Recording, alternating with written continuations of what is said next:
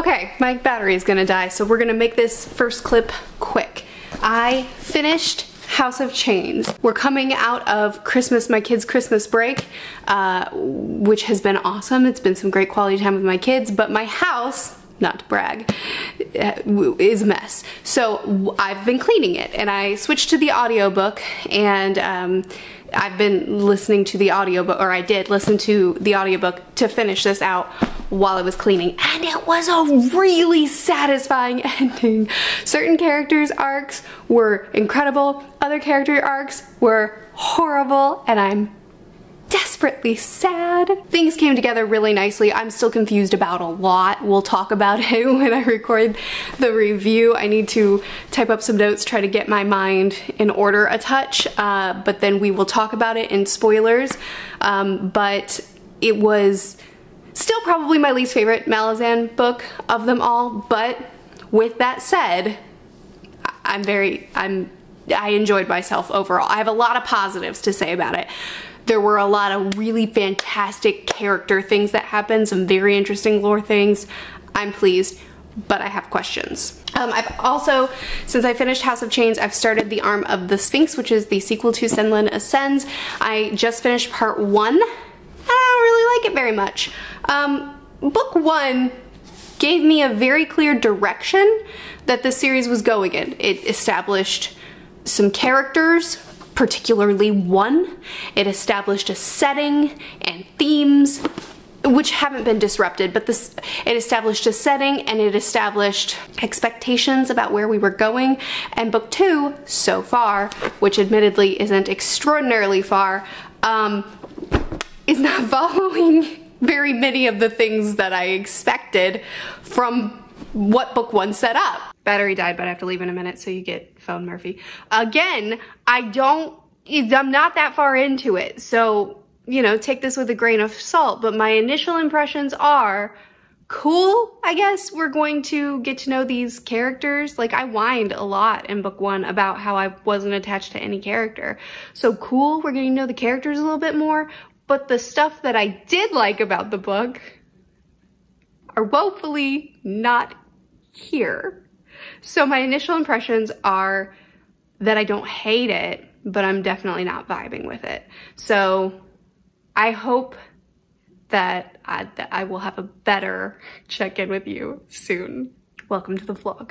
Spoiler review for House of Chains has been filmed. That'll be up on Tuesday and Arm of the Sphinx completed. I've been listening to the audiobook for this as well. I switched the audiobook on this one as well. Um, just because with us leaving for vacation in the next few days, uh, I've been doing a lot of cleaning, a lot of packing, and audiobooks have been my companion. So I'm also getting through things a little bit faster than I normally would. Anyway, I'm pleased with how Arm of the Sphinx ended up going. Uh, part one, I was a little bit concerned that it wasn't, I wasn't gonna wanna continue the series, but it did get better. The characters were deepened a lot more. I feel like I know them a lot better. In book one, my complaint was just the biggest complaint was the characters and I just didn't feel like there was anything to them and now I feel like I know them, I understand them, and I appreciate them a lot. I appreciate the dynamics of the characters as well and their relationships to each other. Several scenes that I really appreciated, showing how they really understand each other and relate to each other, so very happy on that front. While we're not doing what I thought we would be doing throughout the remainder of the series, we are still learning a lot about the world and the mechanics and how everything functions and why it's set up this way and the, the behind the curtain sort of stuff for this tower. We're still learning it just in a way that I didn't expect. So I'm satisfied from my, you know, in book one, the world, the tower was the most interesting thing.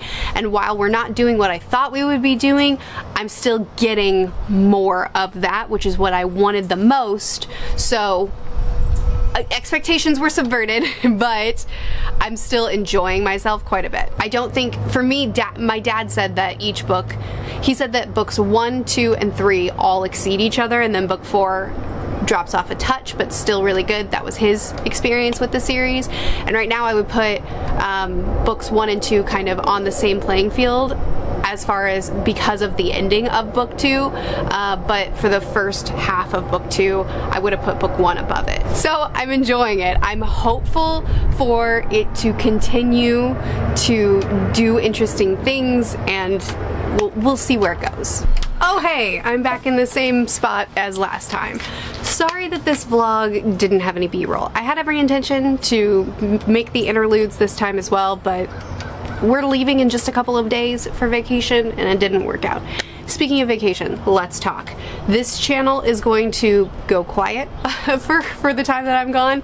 Um, I posted a schedule on my main channel kind of explaining it all, but I'll put it here too. This is the final vlog on this channel for the rest of January, and there will be a Malazan review on Tuesday. That'll be a spoiler-filled discussion, and then that, that'll be the last review as well. And then I'm just gonna take the rest of January off for this channel. I will continue to post. I've been doing a lot of pre-filming uh, so that I can continue to post while I'm gone on the main channel, but just to make it more realistic for me to be able to front load my work now and be able to take the family time while I'm gone. Um, that's just the way that it worked for me to do it. There will still be a reading vlog for the second half of this month.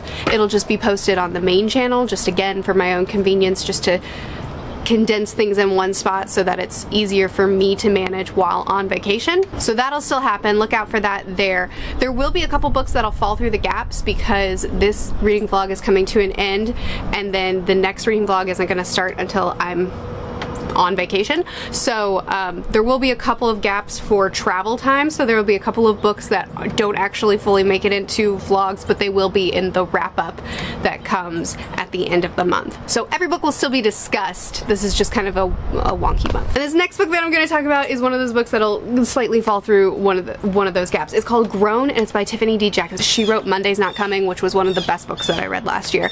And I've been looking forward to reading more of her stuff. Amber Elise, one of my friends here on YouTube, she said Grown is your next book, Merphy, for, by her because Tiffany D. Jackson is Amber's favorite author. Um, so she knows. so she was like, Grown is it. So I got it from the library. I'm reading it on ebook. I'm currently 32% in and it's phenomenal. She has the perfect balance of meaningful prose that she's saying, she can say something in such an impactful way without being overly indulgent and overly flowery. So she has a, it's very, very readable. I just, I'm sucked into her books immediately and I can't stop reading them.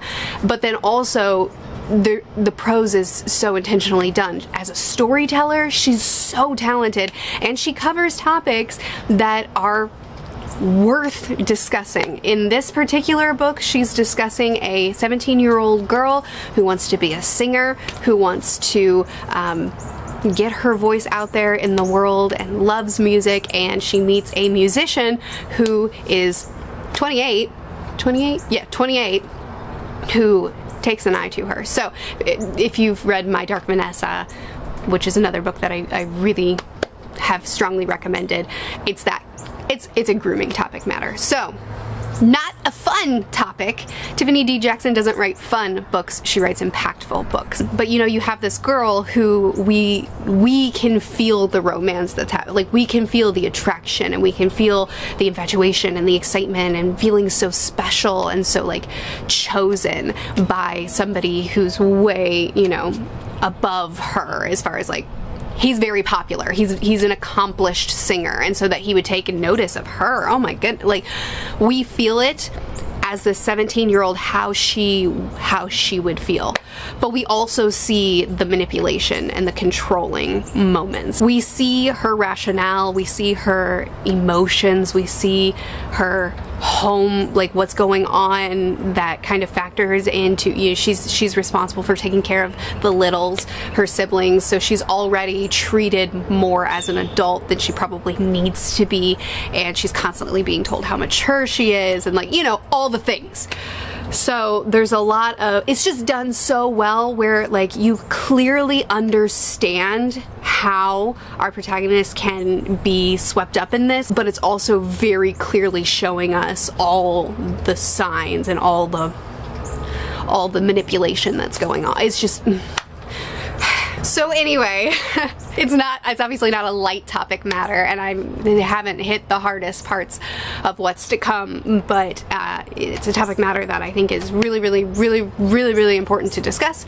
And um, Tiffany D. Jackson, Tiffany D. Jackson in her hands, you know, I just expect it to be really good. So um, this book, the second half of the book, or the second two-thirds of the book uh, will be covered in the wrap-up because it won't be in the vacation reading vlog. Manga. I, oh, I quit on The Climber. I'm sorry guys. I know a lot of you, a couple of you, really were excited to continue to see my thoughts on it because rock climbing is something that I care about a lot and uh, it's a rock climbing series and there's some good stuff about it and I do understand why people like it. It is visually gorgeous and if you're connected to climbing he writes that connection to climbing very well. There's a lot of stuff in there that I just don't appreciate. It's, it's like you gotta sift through the bad to get to the good and I'm tired of sifting.